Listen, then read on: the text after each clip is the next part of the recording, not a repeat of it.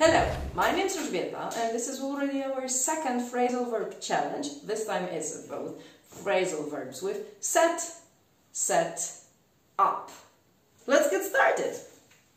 Set up has so many different meanings that I think it would be too confusing to put all of them into this one short video. It's a challenge, so I'm not expecting you to learn all the meanings, but to start using them. So Again, I'll give you three examples, so three different meanings. The first one is really easy. Set up a company, an organization means to create it.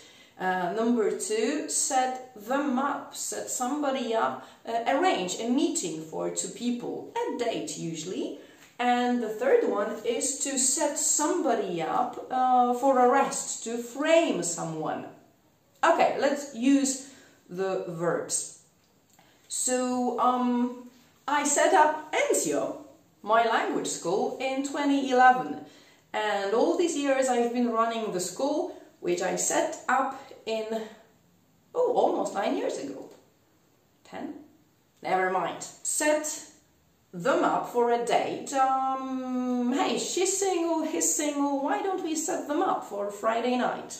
Like a blind date. The third one is when you, like, imagine I committed a crime, I don't want to take blame, I don't want to be responsible, so uh, if I committed a crime and put evidence into somebody else's house uh, so that they're in trouble and not me, um, that would mean I set them up. I'm innocent, I've been set up, which is a totally theoretical situation.